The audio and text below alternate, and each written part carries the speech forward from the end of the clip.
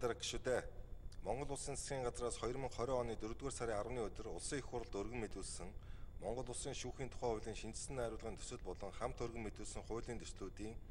анхны хэлэлцүүлгийг улсын их хурл 2021 оны 1-р сарын 7, 8-ны өдрийн чуулганы нэгдсэн хуралдаанаараа хийж эцсийн хэлэлцүүлэгт бэлтгүүлэхээр хууль зүйн байнгын ороонд шилжүүлсэн.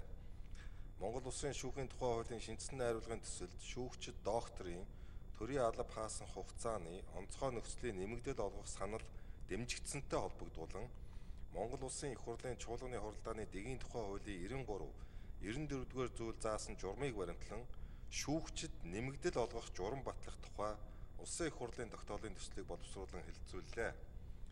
Байнгын ороо 2021 оны 1-р сарын 13-ны өдрийн хуралдаанаараа тогтоолын төслийг хэлэлцэж хуралдаанд оролцсон гишүүдийн олонх тэмцсэн бөгөөд шүүгчид нэмэгдэл олох журам батлах тухай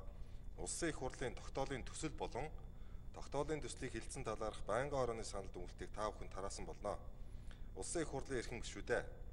Монгол Улсын шүүхийн тухай хуулийн шийдсэн найруулгын төсөлтөд холбогдуулан боловсруулсан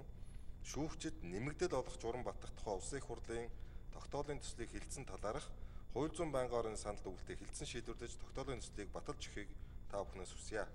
Анхаар тавьсанд баярлалаа.